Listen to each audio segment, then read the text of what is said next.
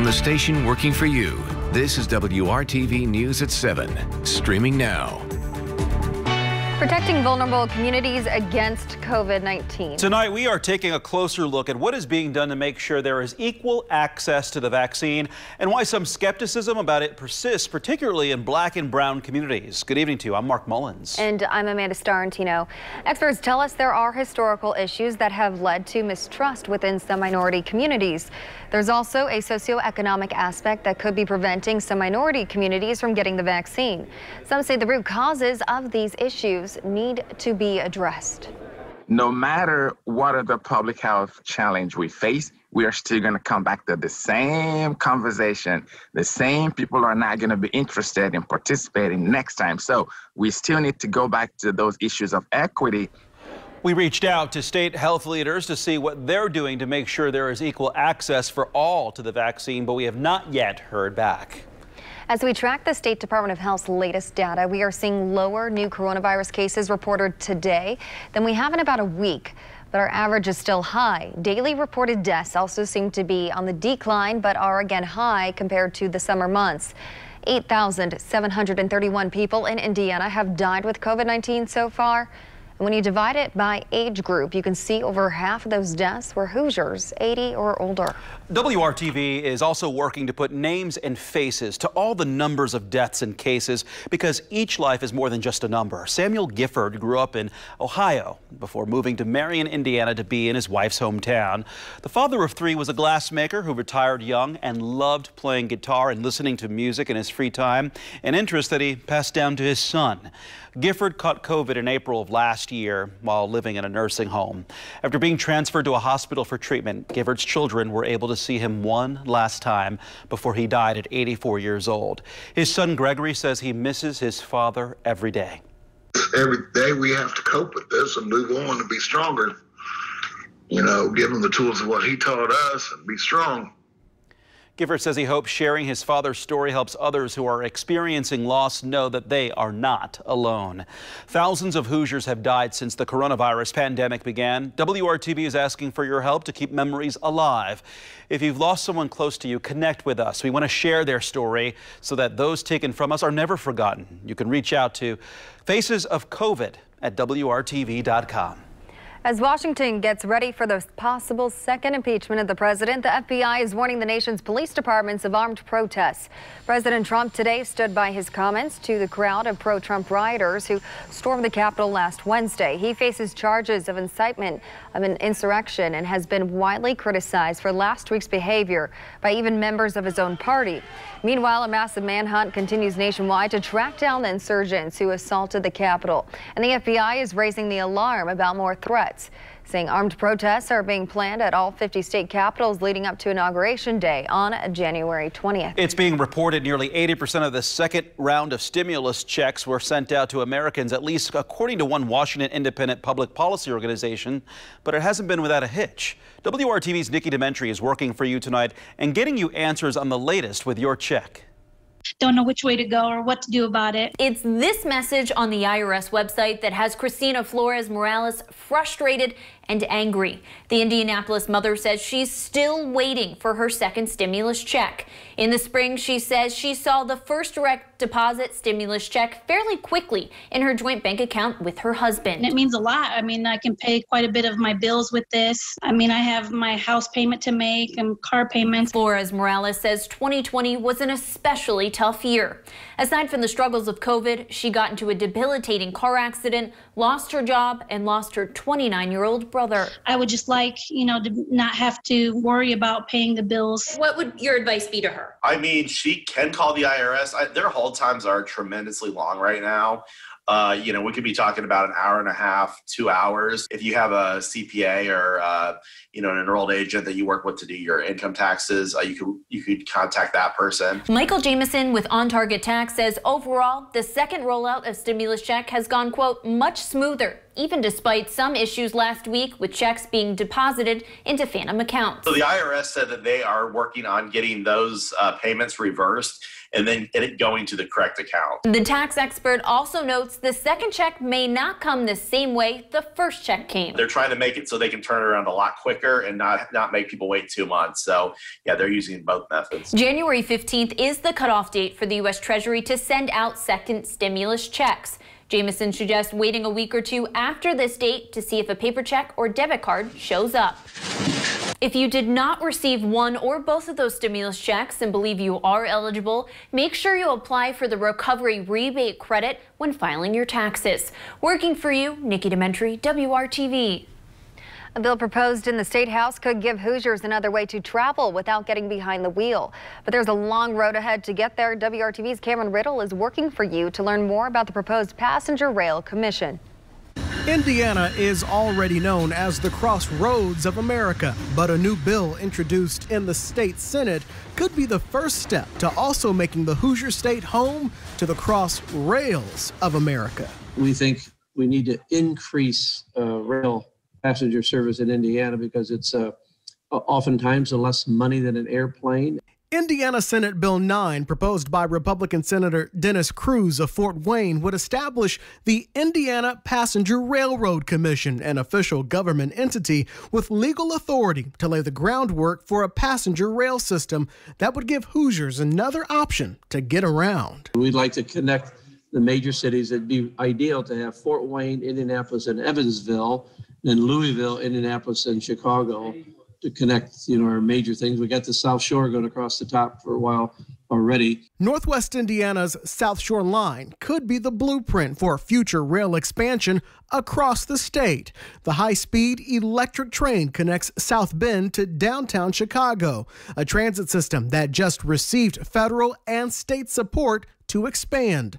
Kruse says adding more transit options across the state is key to growth and attracting new jobs. Because there's a lot of communities that rely on train traffic to get back and forth to work.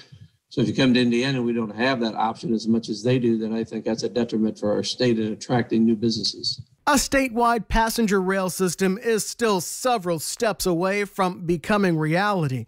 The bill first has to get a hearing in the state Senate Transportation Committee, and much, much further down the line, the support and signature of Indiana Governor Eric Holcomb, who said this when I asked him where he stands on expanding mass transit across Indiana beyond just the roads. I'm all aboard. I see it as um, beneficial. Cameron Riddle, WRTV. The Indy Metropolitan Planning Organization says the demand for more mass transit is trending nationally. And getting rail service in Indiana would require cooperation between Indiana counties. The bill is still far from becoming reality, but we did ask IndyGo for reaction. In a statement, the agency says, quote, we are excited to work with the state on any potential opportunities to expand public transportation options in the community. Kevin.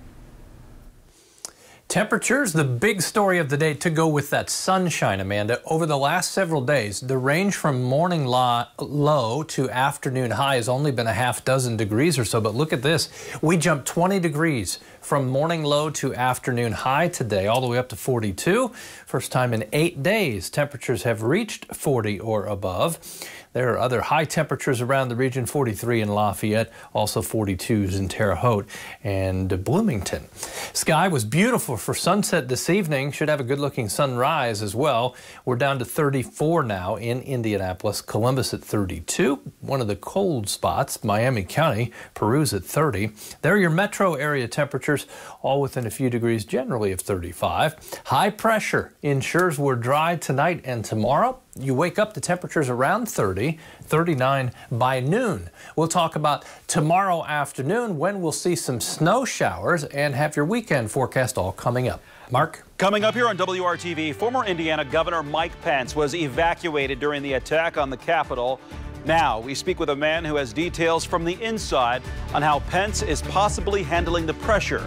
That's ahead when WRTV News at 7 continues slash choose. This is the news at 7 on WRTV. A federal judge has granted a stay of execution for Lisa Montgomery, the only woman on federal death row. Yeah, she's being held here in Indiana at the federal prison in Terre Haute. She, the stay was granted pending a competency hearing and came just hours before Montgomery was scheduled to die. A date has not yet been set for the competency hearing. Prosecutors have filed a notice to appeal the judge's ruling. 52-year-old Montgomery was scheduled to die by lethal injection today. She was sentenced to death in 2008 by a Missouri jury for the 2004 murder of a pregnant woman. The baby survived. Montgomery's lawyer says that she suffers from brain damage and severe mental illness.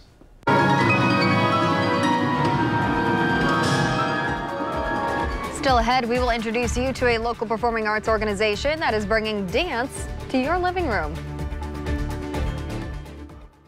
Only at Ashley Home Store. Right now on WRTV, after his apparent falling out with the president last week, the nation is waiting to see whether Vice President Mike Pence will follow through with efforts that could remove Trump from office. WRTV spoke with Business Insider reporter Tom LoBianco. He has covered Vice President Pence for years and also wrote a book about the former Indiana governor. We asked him how Pence might be handling this pressure right now.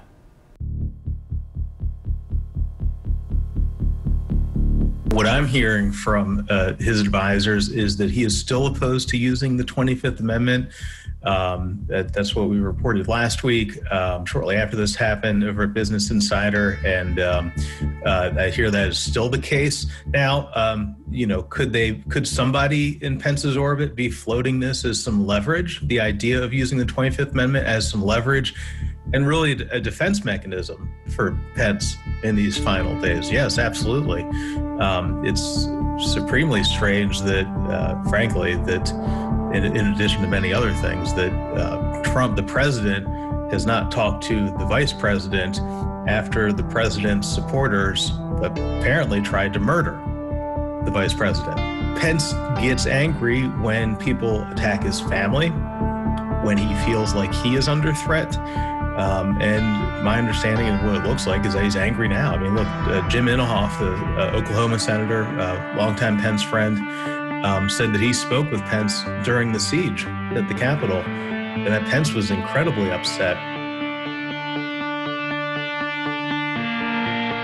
You know, hard to tell, really. Um, it's I've seen some preliminary polling that's come out, um, you know, since the attack on, you know, where the Republican base is with regards to Trump.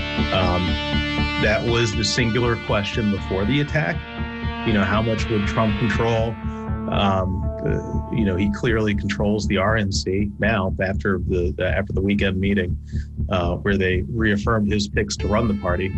Um, so, you know, some things seem to be pretty clear, but this is a very fluid situation. I, you know, I'm not even sure that polling will capture this at this moment. We're still learning about the the rioters that broke in. Um, you know, there's just so much still happening. I don't I don't even know you can gauge politically what's going on just yet. There's just too much in the air right now. The wind kind of offset those temperatures today that made it into the low 40s with sunshine. We had a peak gust just shy of 30 miles per hour in Indianapolis. The wind will stay up a little bit tonight. That'll help keep any fog at bay. Not expecting an issue with that. We may see some mid to high level clouds increase. Temperature range from New Pal at 31 to 36 in Plainfield. Castleton right now, 2 degrees warmer than that. Statewide temperatures, there you go. From north to south, west to east, no big temperature range. We all enjoyed our first round of sunshine in quite a while. It's 10 day stretch in progress with dry conditions. think we'll add an 11th and 12th before that streak comes to an end on Friday. There's our view. A beautiful sunset this evening and skies are clear early. As you can see, tomorrow and Thursday, two warmest days as we look ahead through the weekend. Temperatures will fall in the afternoon hours. Friday, another strong cold front will come through, generating snow showers and deliver temperatures back below average for the weekend into the early part of next week. Some specific numbers to go with that bar graph. 45 tomorrow, more clouds on Thursday, temperature about the same our chance for snow showers increases as we go through Friday afternoon and evening. There's the wind tomorrow. The key to that, the direction. The wind out of the southwest will keep our temperatures about 10 degrees above average. Average high 35. There are temperatures to the north from Logansport and Monticello over toward Marion and Peru. Temperatures in the low to mid 40s. About 45 degrees Rockville, Richmond at 44. Martinsville 46, temperatures to the south not much different. Again, we'll enjoy about the same amount of sunshine. That's not the case Thursday as the clouds will increase. That'll slow the temperature trend down just a little bit. Friday, low pressure will spin in the Great Lakes. It will develop snow showers and deliver colder temperatures. There's the swirl of the snow showers that will pick up in intensity in the afternoon hours on Friday. Could be some light um, accumulations with that. As we head to Saturday, still some snow showers, 33 degrees. Sunday, 31. That's one of the coldest days as far as our high temperature is concerned. But both uh, Saturday and Sunday mornings, or Sunday and Monday, temperatures in the lower 20s for morning lows. Amanda? Thank you, Kevin.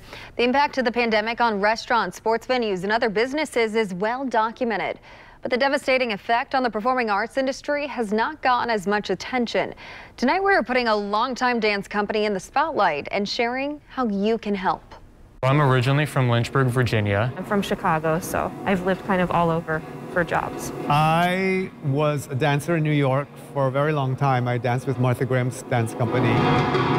You may not think of Central Indiana as a destination for performers. Even though there are so many incredible theater, dance, music, art, like visual art groups in our community, Indianapolis just isn't considered to be one of those communities. But Dance Kaleidoscope, a professional dance company in Indianapolis, is just one group that shows the Circle City has a rich creative arts community. The company started in 1972, originally started as an educational way to teach kids what modern dance was about. And gradually over the years, it became more and more professional. David Hochoy has been Dance Kaleidoscope's artistic director for 30 years. Like many organizations, 2020 was arguably the company's most difficult year in its long history.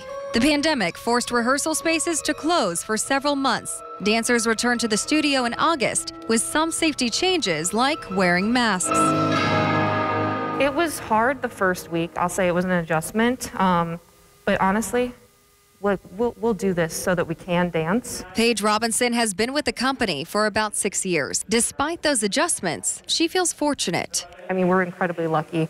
A lot of companies right now, I mean, especially in New York, they're not rehearsing, they're not performing, they're completely unemployed. So we're really, really lucky.